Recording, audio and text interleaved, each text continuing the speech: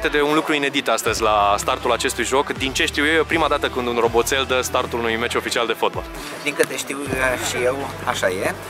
E o bucurie pentru noi că putem să, să oferim oamenilor din oraș un element de noutate, un element inedit, un roboțel pe care l-au construit trei elevi de la noi de la școală, începători între ale roboticii, așa și-au făcut ucenicia cu acest robot și să sperăm că pe măsură ce va trece timpul vor fi roboți din ce în ce mai perfecționați ca să aducem bucurie și să compensăm faptul că viitorul e legat de roboții ăștia, altfel nu, nu, nu o să ne descurcăm pe termen mediu și lung.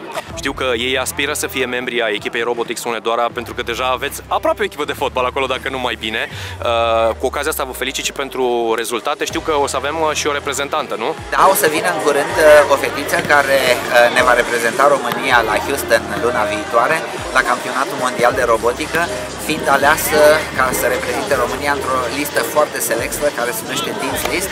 Din Kemen este inițiatorul programelor FIRST la nivel global și în fiecare an își alege 10 oameni din cam 100 de mii și uh, uh, Alexia, uh, eleva din clasa 11 de la noi, va reprezenta România uh, luna viitoare. Am văzut, uh, apropo de roboțel, că pe margine, să zicem că nu are spate, da, poartă numărul 30 și numele lui Mișa. Da, în onoarea uh, lui Mișa Klein uh, s-au împlinit de curând 30 de ani și am ținut să, să marcăm uh, acest moment. Cum v-ați gândit la această idee? Păi, primăria ne-a dat această idee, să fiu sincer, și eu, cum sunt pasionat de fotbal, m-am gândit, hai să o punem în practică. Cât uh, a luat propriu zis să-l faceți? Cam așa, 4 luni, dar n-am fost zilnic, am avut și școală în timpul ăsta. Dar am da, 4 luni.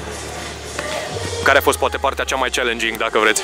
Aș putea spune că programarea a fost cea mai grea de făcut, dar și construcția am, am, am întâmpinat dificultăți, mai ales la șasiu. La șasiu. Eu mă gândeam sincer când am văzut prima dată că una dintre problemele lui o să fie legate de roți, pentru că aici avem un teren de iarbă.